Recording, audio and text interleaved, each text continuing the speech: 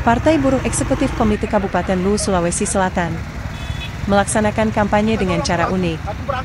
Mereka membagikan selebaran ke sejumlah karyawan perusahaan pabrik nikel.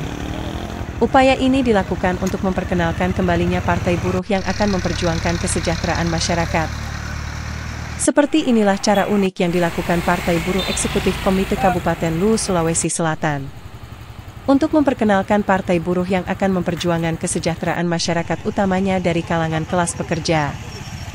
Kegiatan pembagian selebaran ini dipimpin dilaksanakan di Jalan Trans Sulawesi. Tepatnya di depan gerbang PT Bumi Mineral Sulawesi di Kecamatan Buah Kabupaten Luwu.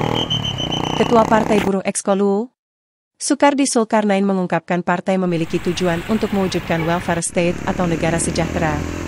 Ini tertuang dalam rumpun padi sesuai logo Partai Buruh, dari jam berapa nih?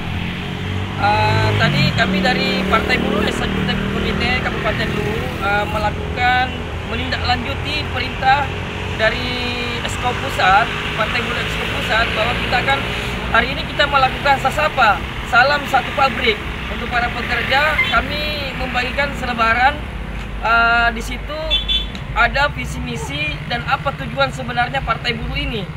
Seperti itu, Pak. Sukardi Sulkarnaini Ketua Partai Buruh Ekskolu. Dengan kehadiran Partai Buruh di Kabupaten Lu dapat membawa kesetaraan di lingkungan masyarakat. Memberikan jaminan sosial hingga jaminan asuransi bagi para pengangguran. Dari Kabupaten Lu, Portal TV mengabarkan.